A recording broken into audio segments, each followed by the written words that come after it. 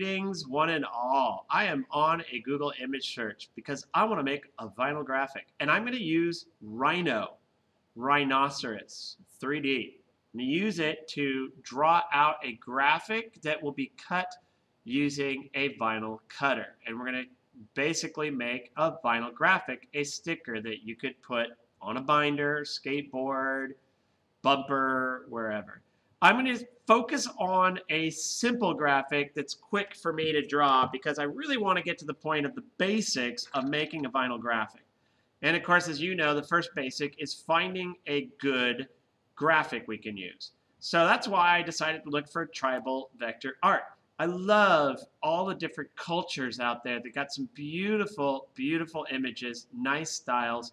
And so I just did an image search. Tribal vector art's a good one to go to. I'm going to find a simple graphic. I'm going to use this one right here. Let's see if it works. Looks good. I'm actually going to use this one here. It's probably a simple one. I can just get right to the details. I need a copy of this image, but I want to make sure it's the right file type. This is a PNG. This will work. You need it to be a PNG or a JPEG. It will not work with all image types. These two are guaranteed to work. Um, I like one that doesn't have transparency, so this is even better because it's got a white background. I'm going to save the image. I'm going to note where I save it. Or I'm going to click Save Image, and I'm just going to crash the browser. That could work too. Thank you, Google Chrome, for the Restore button. Let's try it again. Save image as. Ah, there it is. 204 Free Tribal Vector Pack. Blah, 204, that's the key. This is going into the Downloads folder. Now I'm going to open up Rhino. I'm going to use Rhinoceros 5 as the version I'm using. I'm using 64-bit, but that's because I have a 64-bit computer.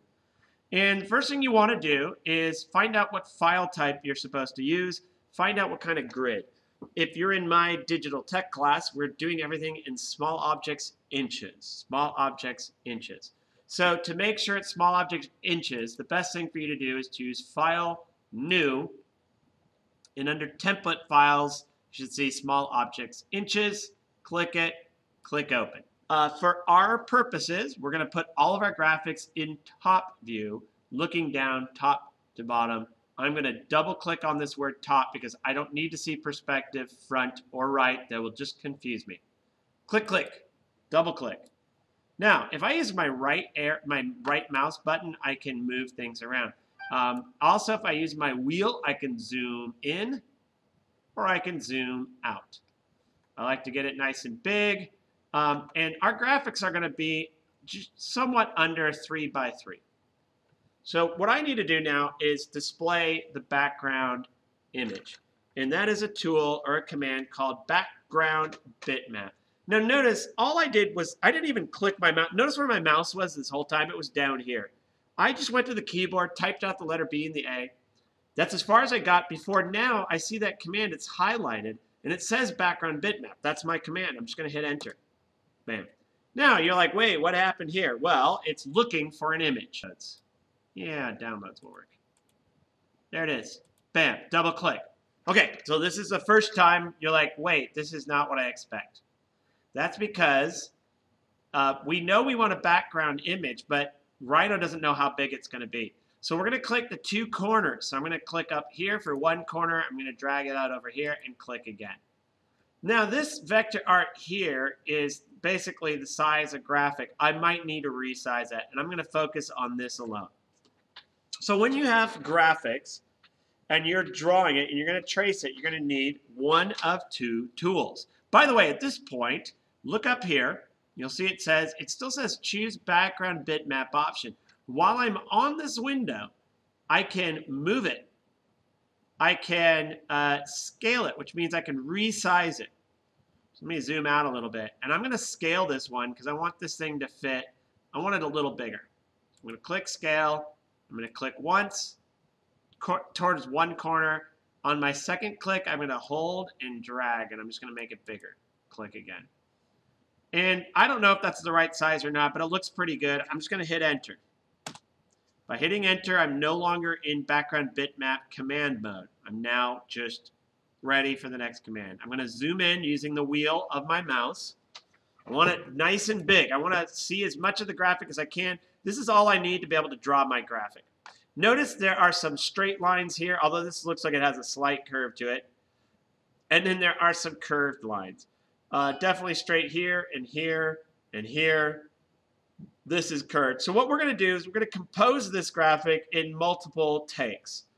And the two tools we want are polyline for straight lines and control point curve for curved lines. Now before we do this, I recommend you make sure OSNAP is selected and the box that says end point or end is checked. Check end under OSNAP. By the way, sometimes you'll go to OSNAP and you'll click it and you won't see anything. And you click it again and it sort of pops up. Just make sure that end is checked. Until something along here is checked, it won't show OSNAP as being highlighted.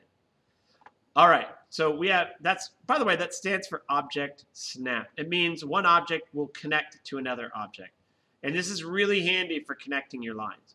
So let's go ahead and do it. We've got a straight line here, down to here, here, here, and here, and then we have a curved line. So let's do our straight lines, get them out of the way. That's the polyline tool. Click. And now I just want to get close to this. I'm just going to click out here. I want my line to sort of be right along there. And right away, you're probably going, you know, that color line is going to be hard to see if we're inside. And I agree. So one of the things you can do is you can change the color of your line. And we're going to do that using the Layers Inspector. And you may or may not have this over on the right, but there's the Layers Inspector. So I'm going to click here. If you don't have it, you just click on it, and that should open it up. I think I'm going to try green. So I'm going to check the green, and I'm going to go ahead and try to draw it. So I click once here. And then notice how what I did, I, I haven't clicked it yet, I used the right button to move it around. I'm going to click up here, just a little above. I like to be able to see the line. Now, you right away, you can see that that line isn't exactly straight. It's slightly curved. So we could actually do curved lines if you want. I'm going to go ahead and do it straight the first take, and then I'll show you how I do it the other way. So I'm just going around and I'm hitting all our main points. And from here on out, it's going to be a curved line. So I'm going to hit here, and notice how it's still there. All I have to do is hit enter. Now I still have those lines there. If I click it, it turns yellow. See that? If I deselect, it's green. See that? You can see the line there. That's why I like to change the color of the line. And there's another straight line here, straight line here, and here. So I'm going to go ahead and do that again one more time. click here, click. I want that line straight, so I want to just see that it looks straight. Come out here. go down just a little bit. Hit enter again. Okay. So one end is here, one end is over here. And so I'm going to connect this line going out to here. So I'm going to zoom out a little bit. So I want to do a curved line there. And then I'm going to do another curved line. I'm not going to use the same control point curve. I'm going to make them two and just connect them together. You'll see what I mean. So I go over here. It's control point curve. By the way, the command is just curve. You can just type the word curve and you'll get it. I'm going to zoom over here until you see. Now notice, when I hover near the end, it says end. That's because I have OSNAP end checked. When I get to the end of one line, if I click what it says end, that means this will start at the same place the other one left off. Now for control point curve, you want to kind of click just outside of the curve a little bit. And notice what happened here. I get over here and all of a sudden it wants to check end. It wants to click there and I don't want it to. So in order to avoid that, I'm going to probably have to just go outside a little. I'm going to zoom in a little bit. Now notice where that line is kind of there. I'm going to click out here. Notice how you can kind of pull it around and you can move it up and down. You can see where that's going to go on the next click. If I were to click it here, it'd be way down. So I want to just kind of come out here. And as long as I can get that line kind of where I want it, that's probably pretty good. I'm going to click there. And you'll find sometimes, now watch this. I'm going to actually click outside. And there's a reason for it. Because the next one, I'm going to pull it in. See that? So even though I did that one point there, I click outside, I can get this line where I want it. And honestly, if I do this right, zoom out a bit. Yeah, at this point, I'm, I'm, it's not going to work, so I'm going to come back out here and click about there. By the way, there is no magic way, there's no one secret to learning this. It really just takes practice. Doing it over and over, by the way, if you like, I don't like that point, hold down control and type Z and it removes the last point. And you can redo that.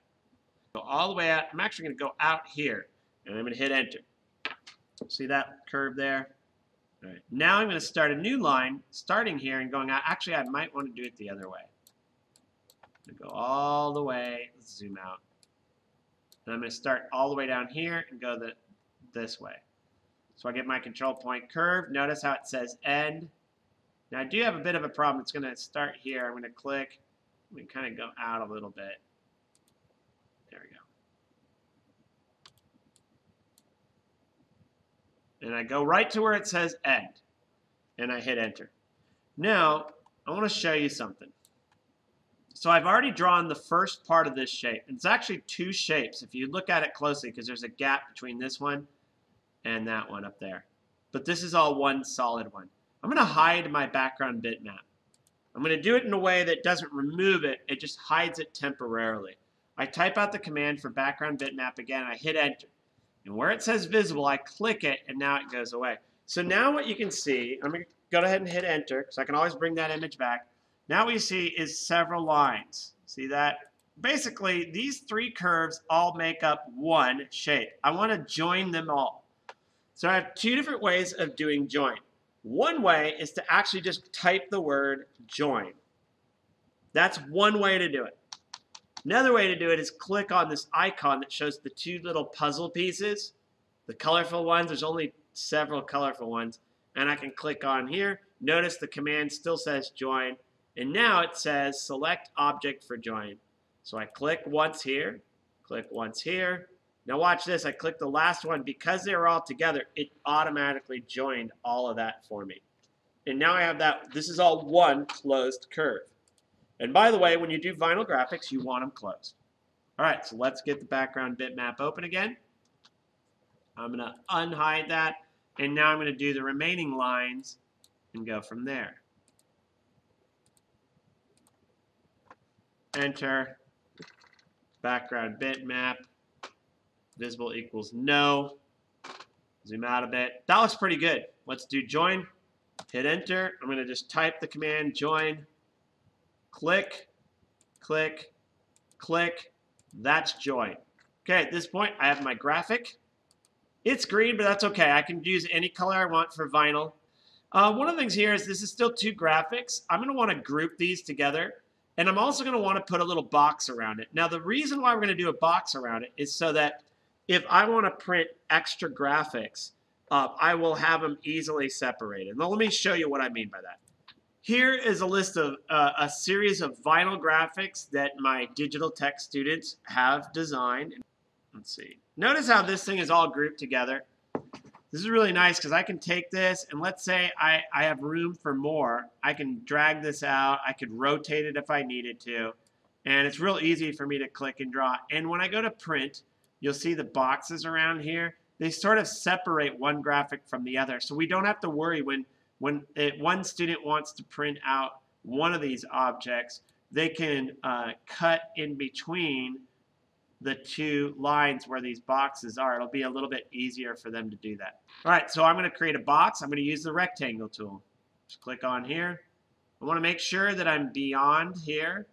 All right, this is the lowest point, so I'm just going to click out here, go out, go above. All I need is it just to be bigger than the vinyl graphic I have. So notice right now I have three different closed curves. I want to group them all into one. So I highlight everything and I type out group, hit enter, and now it's all grouped. I can move it. There we go.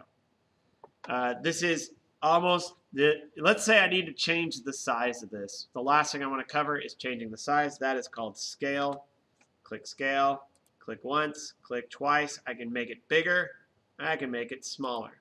Okay, so that's what scale does. Allows you to resize. One more time, just type out the command scale. Notice there's a scale, a scale 1D, scale 2D. We're just using scale. Click the object you want to resize. Notice it tells you press enter when done.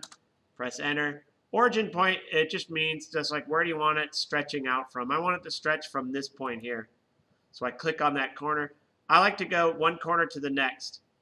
And the reason why is uh, when I click, it's real easy to adjust it exactly how big I want it. Let me show you how not to do this. When you do scale, this is what you don't want to do. You don't want to select the object, put enter. You don't want to click once here and then have your second click be right there because watch what happens. I barely move it and it goes really fast. Whoa, hey, hey, whoa. And so it's really hard, right? See how easy it is to accidentally make it way too big? It's because those two points are way too close together. But if you do them across from each other, it's just way easier to do. This is the right file type, so you just got to save your changes and then you turn it in the way your teacher wants you to, or just however you want to do it. Thank you for watching.